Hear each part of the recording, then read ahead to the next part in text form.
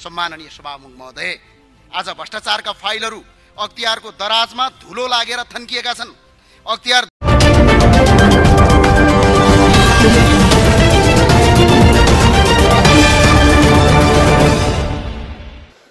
भर्खरै गृहमन्त्री रवि लामी छानेले मदन भण्डारी हत्याबारे यस्तो भन्नुभयो।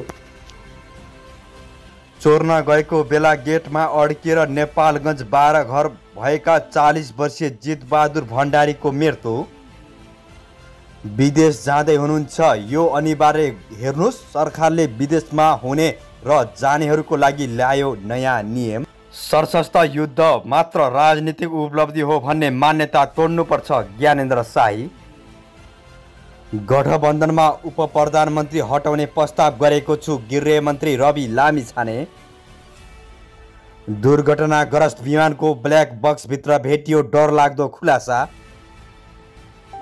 र भ्रष्टाचार गर्ने साना माछा मात्रै समातिने ठुला फुत्कने कहिलेसम्म? ज्ञानेन्द्र साई आजको यो भिडियोमा यो सब अपडेट लिई हजुर माझ उपस्थित भइसकेको छु। यो सब जानकारी पाउनको लागि भिडियोलाई सुरुदेखि अन्तिमसम्म फलो गर्नुहोला। केही सुझाव सल्लाह छ भने तल कमेन्ट गर्नुहोला। भिडियोलाई सक्दो सेयर गरी सबै नेपालीसम्म पुर्याउन मद्दत पनि गर्नुहोला। हजुरको एउटा सेयरले गर्दाखेरि धेरै नेपालीलाई केही न केही जानकारी मिल्नेछ। मैले आफूले जानेका बुझेका कुराहरू हजुरहरूलाई बताउने गर्दछु। नयाँ आउनु भएको छ अझै पनि हाम्रो च्यानलसँग जोडिनु भएको छैन भने सब्सक्राइब र साथमा रहेको घन्टीलाई दबाई हामीसँगै जोडिनुहोला। अब ढिला नगरिकन लागौँ आजको विषयवस्तुतिर। दर्शकबिन राष्ट्रिय प्रजातन्त्र पार्टीका सांसद ज्ञानेन्द्र शाहीले भ्रष्टाचार गर्नेहरूले कहिलेसम्म छुट पाइरहने भन्दै प्रश्न गरेका छन्। शनिबार बसेको प्रतिनिधि सभाको बैठकमा बोल्दै उनले भ्रष्टाचारको अनुसन्धान गर्ने निकायले कानमा तेल हालेर बस्दा र आँखामा पट्टी लगाएर बसेको भन्दै आलोचना गरेका छन्। सम्बन्धित निकायले देखेर पनि नदेखे जस्तै कानमा तेल हालेर आँखामा पट्टी हालेर बसेको छ। त्यसैले होला साना माछा मात्रै जालमा पर्ने ठुला ठुला माछा फुत्कने यो कहिलेसम्म उनले भने? हामी जस्तो तमाम न नव जवान युवाहरू र सिङ्गो मुलुकको भविष्य आज भ्रष्टाचारले गर्दा बर्बाद भएको छ। यस्तै भ्रष्टाचारका फाइलहरू अख्तियार दुरुपयोग अनुसन्धान आयोगमा थन्किएको बताए। अनुसन्धान गर्नेमै सीमित हुँदा निर्णय गर्न नसकेको पनि उनले टिप्पणी गरे। अख्तियार दुरुपयोग निवारण आयोगलाई अख्तियार दुरुपयोग अनुसन्धान आयोग बनाऊ तर अख्तियारले भ्रष्टाचार नियन्त्रण गर्नुको सट्टा अनुसन्धानमै सीमित रह्यो। त्यसैले होला ठुला ठुला भ्रष्टाचारका आवाजले सडक तातिन्छ सदनमा सुनिन्छ तर भ्रष्टाचारलाई कहिले कतै कारवाही भएको देख्न सुन्न पाइँदैन। हरेक दिन पत्र पत्रिका सामाजिक सञ्जाल अनलाइन मिडियामा हाम्रो र तपाईँ हामी सबैको मोबाइलमा भ्रष्टाचारका कुरा लेखिन्छन् र छापिन्छन् उनले भने। त्यस्तै दर्शकबिन उप प्रधान तथा गृहमन्त्री रवि लामिछानेले उप प्रधानमन्त्री हटाउने प्रस्ताव गठबन्धनमा गरिसकेको बताउनु भएको छ। शनिबार प्रतिनिधि सभाको बैठकपछि उहाँले गठबन्धनबाट उप प्रधानमन्त्रीले कुनै भार सरकारलाई नथपिने भएकाले राखेको भए पनि आफू भने गठबन्धनबाट सहमति भएको खण्डमा उप प्रधानमन्त्री हटाउन तयार रहेको बताउनु भएको हो। उहाँले उप प्रधानमन्त्री पद सबैभन्दा पहिला आफ्नैबाट हटाउन सुरु गरे पनि तयार रहेको बताउनुभयो। गृहमन्त्री लामी छानेले भन्नुभयो उप प्रधानमन्त्री हटाउने भए पनि सबैभन्दा पहिला मेरोबाट हटाइदिँदा हुन्छ केही फरक पर्दैन। अभ्यास हो यो तर त्यसैले धेरै कुनै ठुलो भार नपर्ने देखिएको छ। मैले प्रस्ताव राखेको छु त्यसमा झुन्डिनु पर्छ जस्तो मलाई लाग्दैन। गृहमन्त्री लामिछानेले आफूले सरकारबाट काम गर्दा नतिजा न निकाल्ने गरी काम गर्ने पनि बताउनु भयो। उहाँले नेकपा एमालेका सांसद लक्ष्मी महतो कोइरालालाई चाँडै समात्ने पनि बताउनु भयो। उहाँले भन्नुभयो हामी नतिजा निकाल्ने गरी काम गर्छौँ। प्रहरी प्रशासनले नटे नटेर्ने भन्ने हुँदैन। आफ्नो व्याख्या हो। विकृति निक जान जानकारीका लागि गरिएको हो। के भइरहेको छ भन्ने जानकारी दिनुपर्ने भएकाले हो। मधेस आन्दोलनका क्रममा प्रहरी सही थमन थापाको हत्या अभियोगमा फरार रहेका कोइरी महत्व एकबाट निर्वाचित भएका छन्। शनिबारको संसद बैठकमा नेपाली काङ्ग्रेसका सांसद रामहरि खतिवडाले गृहमन्त्रीको मौखिक निर्देशन प्रहरीले नमान्नेकाले गृह मन्त्रालयले विकृति निकाल्नु परेको हो भन्दै प्रश्न गर्नुभएको थियो। त्यस्तै दर्शकबिन ज्ञानेन्द्र साईले सशस्त्र युद्ध र सडक आन्दोलनबाट मात्र राजनीतिमा स्थापित भइन्छ भन्ने मान्यता तोडिँदै गएको बताएका छन्। शनिबार प्रतिनिधि सभा उपसभामुखमा राष्ट्रिय स्वतन्त्र पार्टीकी सांसद इन्दिरा राणा मगरलाई समर्थन गर्दै उनले समाज सेवा र नागरिकको सेवाबाट पनि राज राजनीतिमा स्थापित हुन सकिने बताउनुभयो। उनले भने राजनीतिक उपलब्धि भनेको सिर्फ सशस्त्र युद्ध वा सडक आन्दोलनबाट स्थापित हुन्छ भन्ने मान्यतालाई तोड्नु र समाज सेवा र नागरिकको सेवाबाट पनि राजनीतिक स्थापित हुन्छ भन्ने स्थापित गर्नु भनेको कुनै व्यक्ति र दलको समर्थन गर्नु होइन। सांसद साईले भ्रष्टाचारको फाइल अख्तियारको दराजमा धुलो लागेर थन्किएको तर कारवाही नभएको बताए। विदेशमा भ्रष्टाचार आरोपमा पूर्व राष्ट्रपति पूर्व प्रधानमन्त्री बहलवाला प्रधानमन्त्री र उच्च ओहोदाका व्यक्ति जेल गएको र कारवाही भएको भन्दै सांसद शाहीले नेपालमा पनि यस्तै हुनुपर्ने बताउनुभयो। त्यस्तै दर्शकबिन माघ एकमा पोखरामा भएको यति एयरलाइन्सको विमान दुर्घटनाको प्राविधिक विश्लेषणका लागि ब्ल्याक बक्स फ्रान्स पठाउने भएको छ।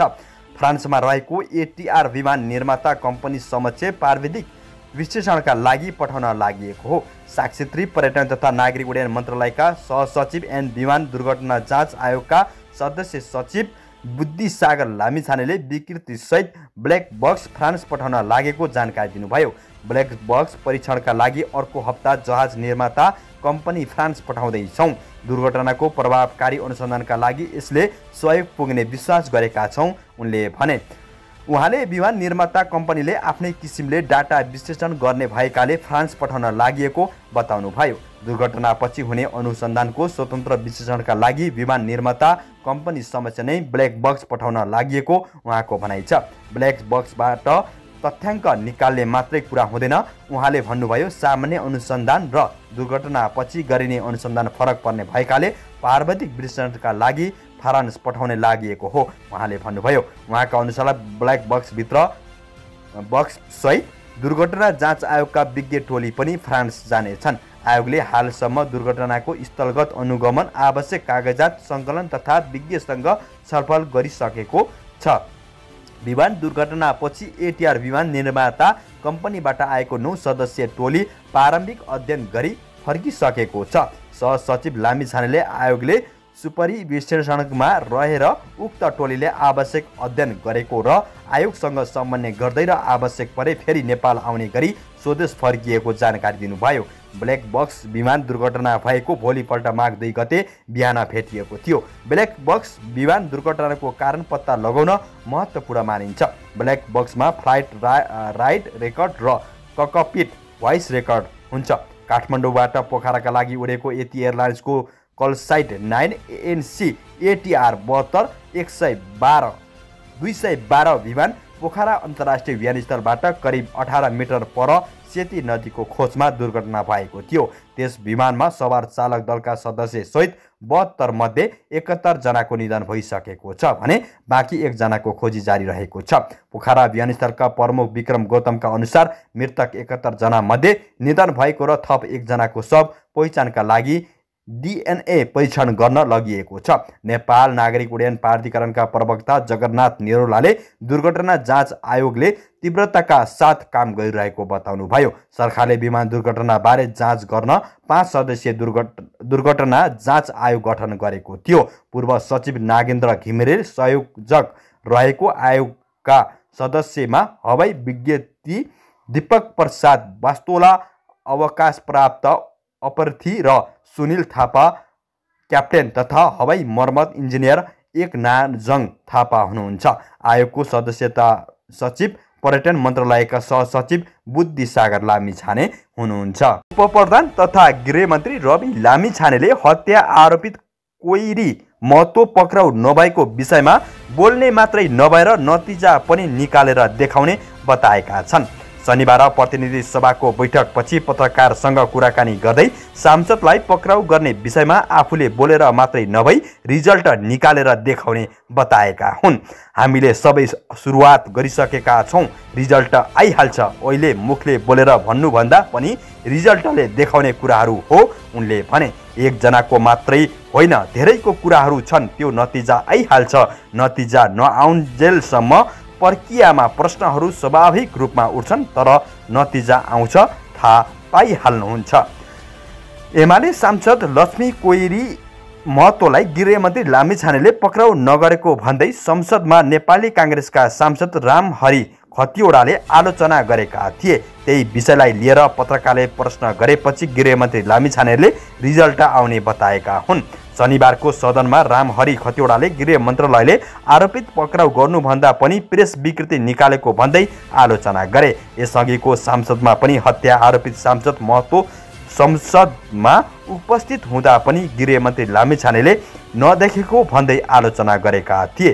सशस्त्र प्रहरीका सहायक निरीक्षक थमन विकको हत्या आरोप कोइरीमाथि छ। त्यस्तै दर्शकबिन स्वास्थ्य तथा जनसङ्ख्या मन्त्री पदम गिरीले स्वास्थ्य बिमा मार्फत सबै जनताको उपचारलाई सुनिश्चित गरिने बताएका छन्। शनिबार मनमोहन सामुदायिक अस्पतालमा स्वास्थ्य सामग्री हस्तान्तरण कार्यक्रममा बोल्दै गिरीले स्वास्थ्य बिमा कार्यक्रममा जिल्लाहरूमा समस्याको रूपमा रहेको बताए।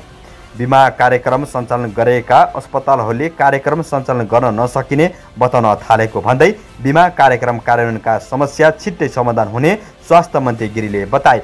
बिमा कार्यक्रम सञ्चालनमा आइरहे आइपरेका समस्याहरूको बारेमा जानकारी लिन आफूले सम्बन्धित निकायसँग छलफल गरिसकेको पनि उनले बताए। गरिब जनताले स्वास्थ्य बिमा कार्यक्रम मार्फत धेरै सुविधा लिन सक्ने भएपछि कार्यक्रम कार्यान्वयनमा धेरै समस्या भएको गिरीको भनाइ छ। रोटरी क्लबले उपलब्ध गराएका स्वास्थ्य सामग्रीहरू हस्तान्तरण गर्दै मन्त्री गिरीले सबै नागरिकलाई स्वास्थ्य सेवा उपलब्ध गराउनु सरकारको दायित्व रहेको उल्लेख गरे। मन्त्री गिरीले सोही अवसरमा मनमोहन सामुदायिक अस्पतालको अनुगमन समेत गरेका थिए।